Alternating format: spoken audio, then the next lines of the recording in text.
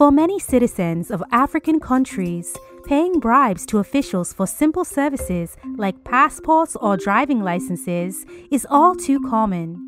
Many even need to pay bribes just to file a complaint with the police. In fact, our research shows that one in four African citizens are forced to pay bribes for these and many other basic services, including life saving medicines and healthcare.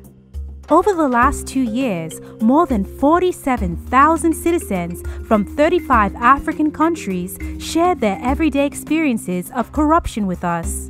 What did they say? Well, more than half of citizens think corruption is getting worse in their country, and their government is doing a bad job in tackling it. Corruption, though, doesn't affect everyone equally. The poorest in society are twice as likely to pay bribes than the wealthiest, and young people are more likely to pay bribes than older people.